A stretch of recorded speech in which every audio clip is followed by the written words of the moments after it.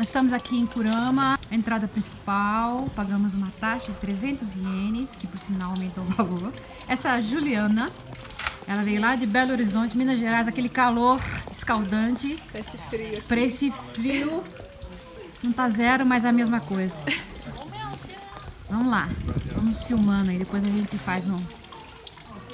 Na verdade, aqui, você vai encontrar isso em vários lugares. É para lavar as mãos purificar as mãos para poder entrar. Mas a água, é, vamos ver, quer ver? Como vocês podem ver, está congelado. Então nós não vamos, nós vamos é, limpar o nosso coração, né? De outra forma. E vamos adiante. Vamos lá.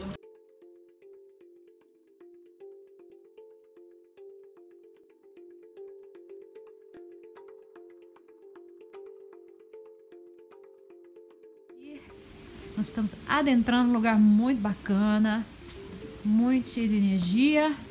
O que vocês veem ali na frente é uma árvore, árvore considerada um local é, de muita energia, por isso que ela tem aquela corda envolvendo-a. Maravilhosa árvore, nem tem palavras. São 53 metros e 800 anos de existência. Dá para vocês verem o tamanho dela me comparando com ela. Tamanha grandeza. Muito linda.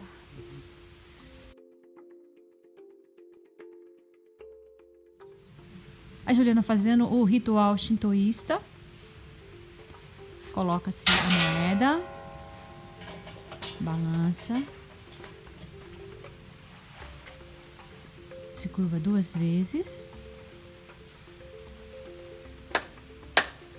Faz o pedido.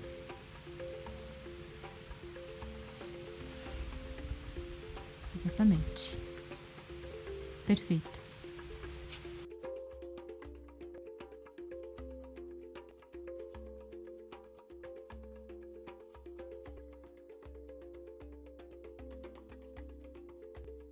A Juliana tá fazendo uma energização aqui nesse ponto. Considera-se que há muita energia. Justamente por isso tem essa corda com esses papelotes pendurados.